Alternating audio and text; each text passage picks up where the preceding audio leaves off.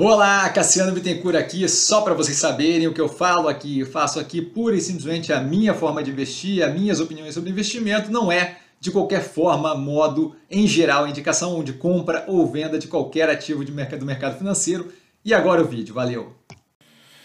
Olá, Cassiano Bittencourt, para a primeira análise do trimestre, estamos abrindo aqui com a Romi, geralmente a Romi, que divulga primeiro a primeira análise do trimestre, do terceiro trimestre de 2023. Tá a operação, uma empresa de bens de capital, três segmentos, a B mais W a, na, na, Europa, né, especialmente na Alemanha, a máquinas Romi e fundidos e usinados. Tá? A gente tem várias análises dela no canal, então dá para acompanhar toda a evolução da tese, pelo menos nos últimos quatro trimestres, direto, tá? com a conversão, com a conversa toda de governança, que tem falado, tudo agora é problema de governança, e bastante desinformação ali no meio, como eu tenho explicado eventualmente. Eu vou começar a colocar a estrutura acionária, como a gente pode ver na tela, das operações, justamente para, caso dê curiosidade, a gente possa sempre revisitar a análise mais recente e ver ali como é que está a estrutura acionária, quem são os controladores e por aí vai para saber que não é, é para ter uma noção ali de como é que está organizado o grupo controlador, certo? Aqui a família Romi e família outro nome ali que eu não lembro.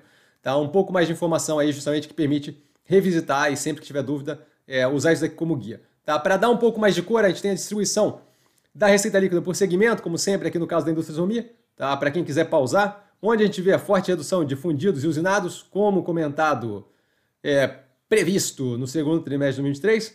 Tá? Na sequência, de, ali embaixo, desculpa, a distribuição de mercado externo e mercado interno.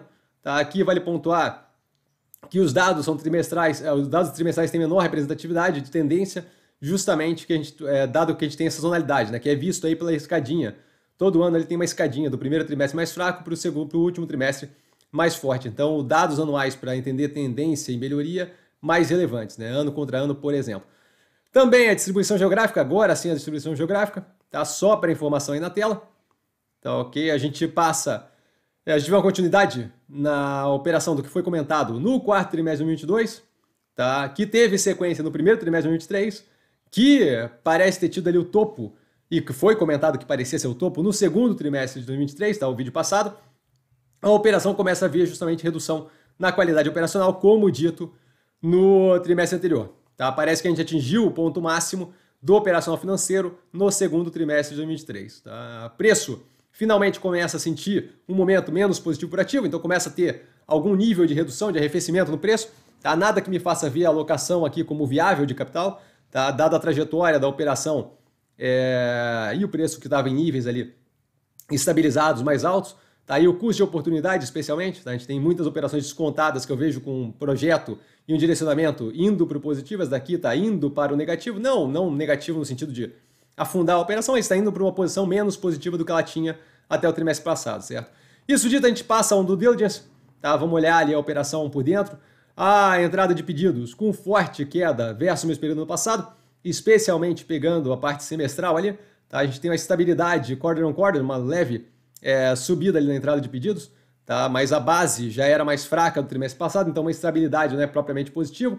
A gente tem uma entrada em pedidos em 289 milhões de reais, menor, menor não, desculpa, um pouco maior do que o faturamento é, no trimestre, que está em 273 milhões. Então, basicamente, aí repondo o consumo. Né? Trimestre passado era menor, agora um pouco maior, mas basicamente repondo ali com entrada de pedidos o consumo do que está sendo feito, do que está sendo entregue.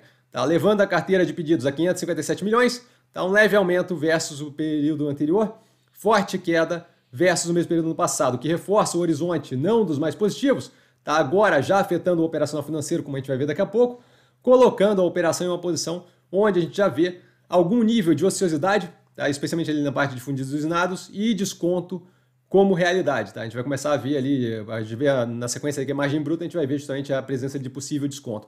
Tá? A margem bruta com forte redução, tá? possivelmente justamente efeito de descontos, né? quando eu tenho a margem bruta eu tenho faturamento menos o custo da mercadoria vendida. Tá? O segundo pior, a segunda pior margem bruta da, do histórico aí apresentado na tela.